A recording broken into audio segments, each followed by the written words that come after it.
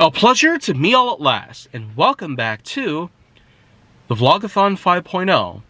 And now what I'm going to talk about for today's part is in fact going to be specifically about the many times that I have crossed paths with people old and new. Not just in terms of age, but also with how long I've known them for.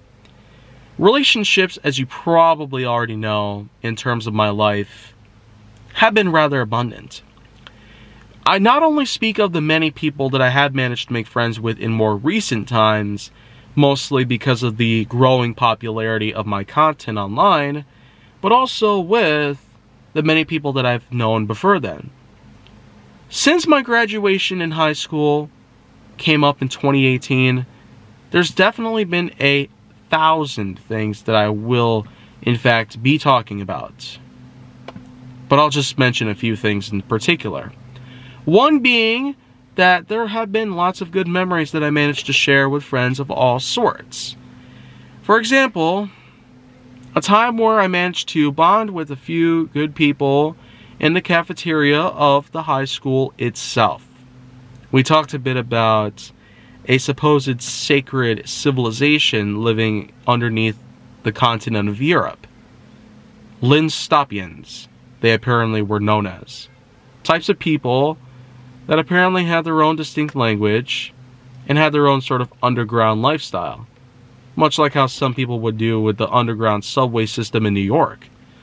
So, that of course is more or less just a myth that they made up, a sort of fantasy world they have fabricated themselves. But the thing is, is that the memories of that are just so impressive to ever live with. And just to know the fact that this was at a time before all of the more recent, undeniably bad stuff happened, this was just what I'm referring to.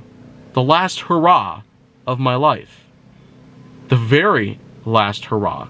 The year of 2018.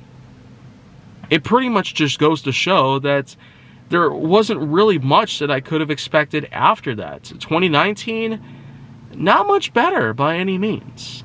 In 2020, had some nice stuff around there, but I really just wish that there wasn't so much horrible stuff coming around. In 2021, doesn't even deserve nothing. It absolutely does not deserve nothing from me or anybody at all for how awful it was. 2022, however, sure does surpass the likes of the many of which, but just to know the fact that we're going to live with such bad memories burdens for the rest of our lives, I really cannot imagine what our futures would be like going forward. Is 2023 going to have some sort of effect on us for the rest of our lives? Is 2024 going to have some sort of horrible event that'll scar us for life? Nobody really knows for sure. But I do know one thing.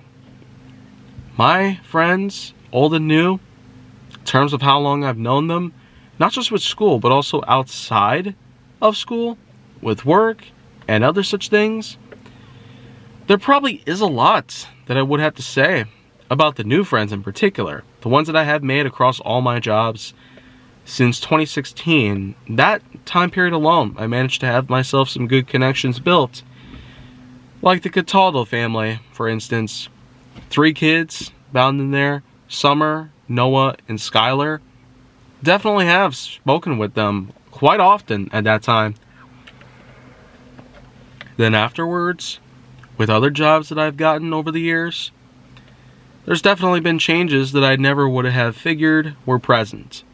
But yet, we're at a moment now where we can definitely learn to accept our fate, our destiny, our stories that unfold for our grandchildren to hear.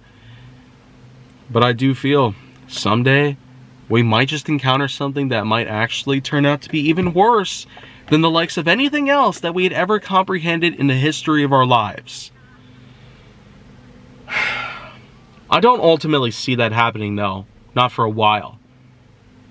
So that is pretty much what we need to know. Socialization, charisma are right here in the back of our minds. And we do know how to be a pimp to some females and such an attraction for males to see.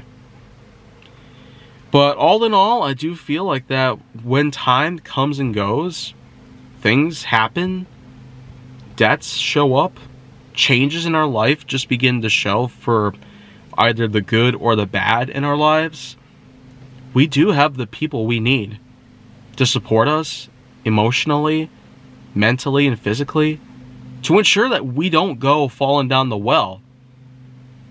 And maybe we can always find those that have been waiting in the wings for decades now and are more than worth waiting for.